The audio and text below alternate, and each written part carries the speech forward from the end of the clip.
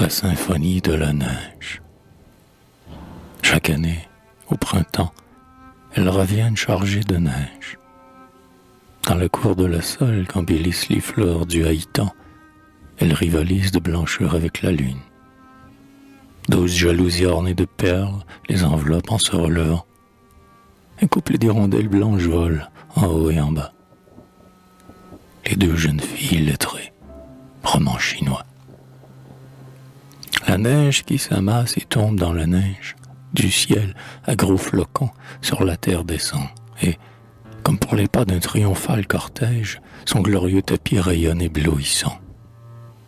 D'autres regretteront, devant cette richesse, les pourpris que l'aurore arrose de ses pleurs, le gazon aplani pour des pieds de duchesse et la rose printemps des oiseaux et des fleurs, et de ne plus revoir, au soleil d'or qui baisse, grands coquelicots, orgueil mouvant des blés, les gammes de Rubens et de Paul Véronèse tourbillonnaient en chœur devant leurs yeux troublés.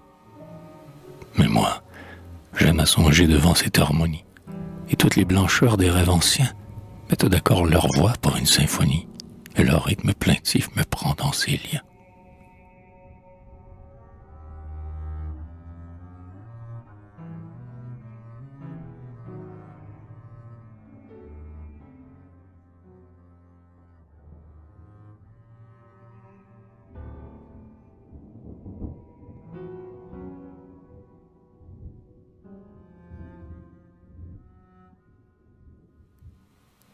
C'est dans le molle oubli d'un ciel douteux et pâle, qui donne à toute chose un prestige charmant, qui passe en douceur le duvet et l'opale, que le drame du jour s'agite vaguement.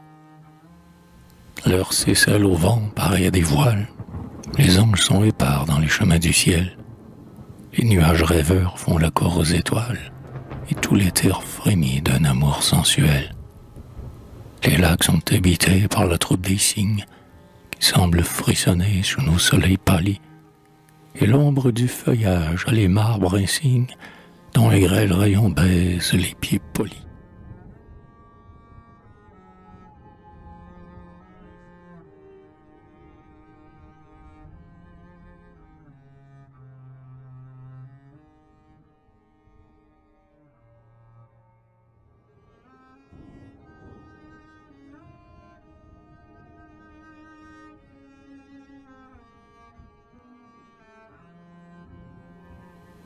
Ces filles de la Grèce aux allures profanes écartent en riant les cheveux du boulot et, cherchant le repos dans les flots diaphanes, l'escalier des palais plonge son pied dans l'eau. Sur la vague s'agite une légère écume, comme celle où, parmi les dauphins entraînés, pleines, ainsi que les flots de charme et d'amertume, Aphrodite jaillit des flots rassérénés.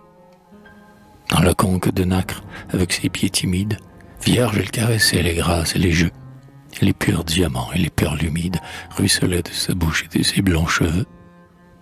Voici le bois sacré à la mélancolie, où, mêlant la brise un murmure confus, l'oranger, le laurier, le myrte d'Idalie accueillent mille oiseaux dans ses dômes touffus.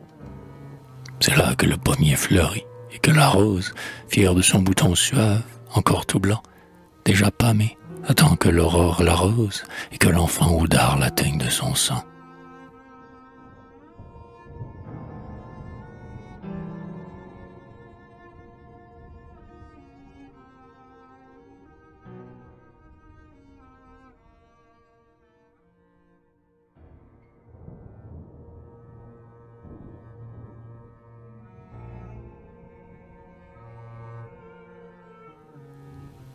En cavalcade au long des terrasses de briques, des dames dont Zéphyr baise le front mutin, avec des cavaliers au sourire lubrique, passent dans leur habit d'hermine et de satin.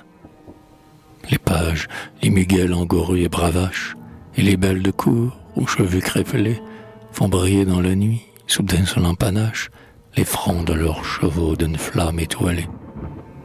La nappe encore vierge est mise pour l'orgie, et les flacons d'argent brillent sur le dressoir, tandis qu'à la fenêtre, avec sa main rougie, elle vire désolée agite son mouchoir. Et dans l'ombre, un fuyard, qu'une autre ombre accompagne, les cheveux hérissés par le vent qui les suit, rejoint ses compagnons dans l'immense campagne, au galop d'un coursier sombre comme la nuit.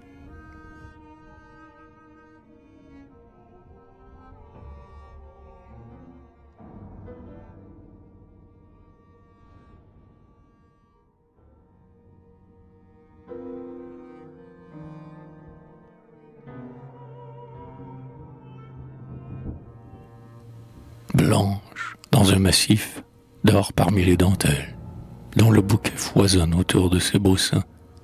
Elle rêve, et son corps, semblable aux tourterelles, creuse en y embaumer le duvet des coussins. Auprès d'elle, à mi-voix, deux colombes mystiques, au milieu des ardeurs du tiède renouveau, se murmurent, ainsi que des lyres antiques, des vers d'Anacréon, d'Orphée et de Sappho.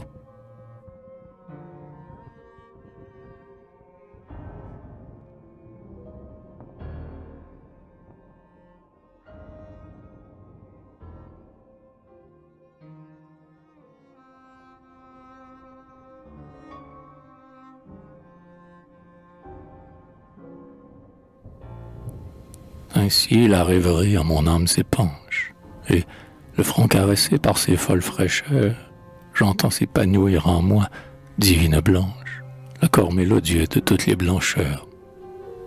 Mais c'est pas l'amour de fleurs et de sculptures dont je mène en chantant le cœur étiolé, sont encore à mes yeux moins blanches et moins pures que votre âme sereine ou les seins violets.